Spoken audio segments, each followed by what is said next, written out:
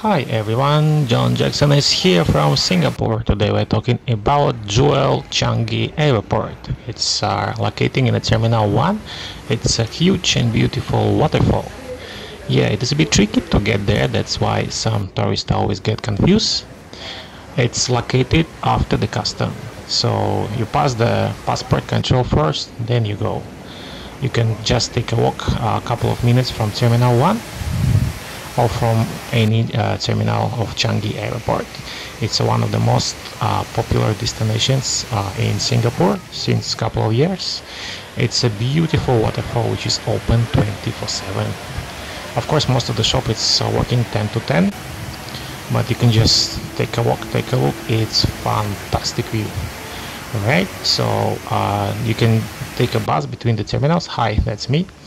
All right you can take a walk. or i just been here today. Yeah it's easy to find. It's a huge pearl or jewel. That's it for today. I will send the address and thank you so much for watching. Have a nice day